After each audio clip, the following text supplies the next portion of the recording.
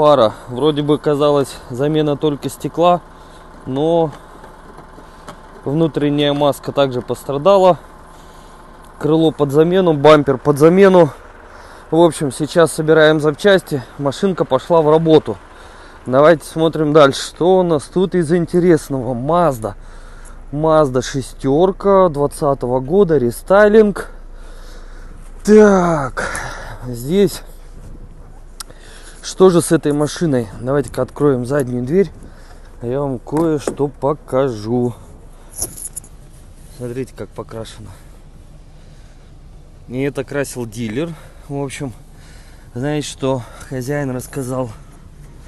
Машина была э, выставочная. В общем, ездили на ней, катались. Образец какой-то там. И перед продажей ее дилер полностью покрасил. А как он ее покрасил, вы видите сами.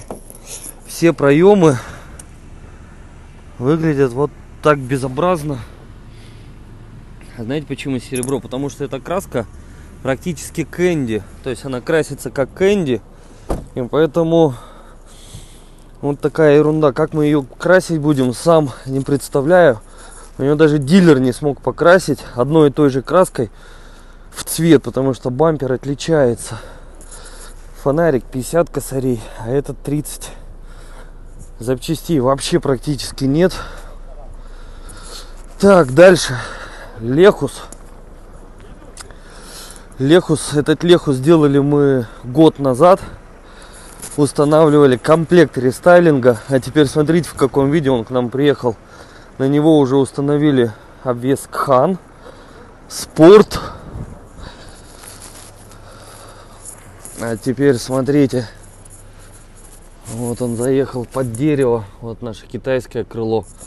А это оригинальная часть кузова. Слава богу, стекло не разбилось.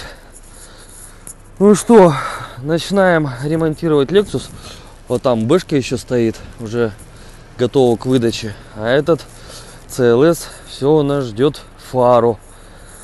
Все, погнали ремонтировать. Про Lexus который комплект рестайлинга. Снимем видосиков побольше. Посмотрим, что же у него изменилось и как он выглядит спустя год.